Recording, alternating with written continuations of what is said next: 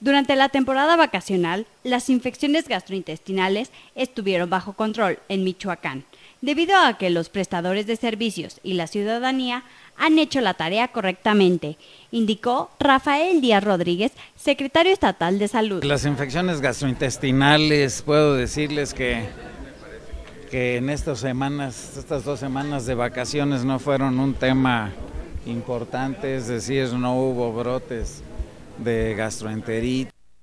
Informó que en este periodo se presentaron tres casos de intoxicación por alimentos. Algo, algo que salió en los medios de dos, tres personas que en un restaurante de la ciudad tuvieron problemas que llamaron intoxicación.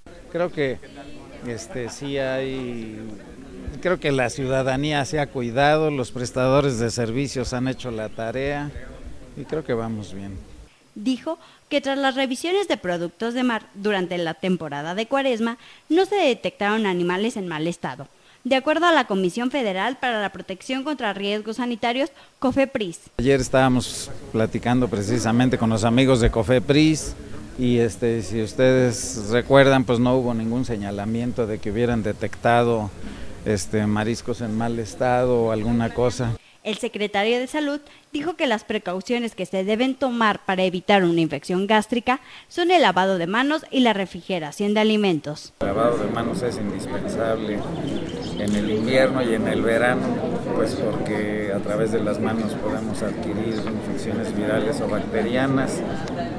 En esta temporada eh, la refrigeración de los alimentos perecederos creo que es una medida importante, Comentó finalmente que sin datos alarmantes de enfermedades gástricas se tiene el reporte del periodo vacaciones de Semana Santa y Pascua. Informó para Cuasar TV Andra Fernández.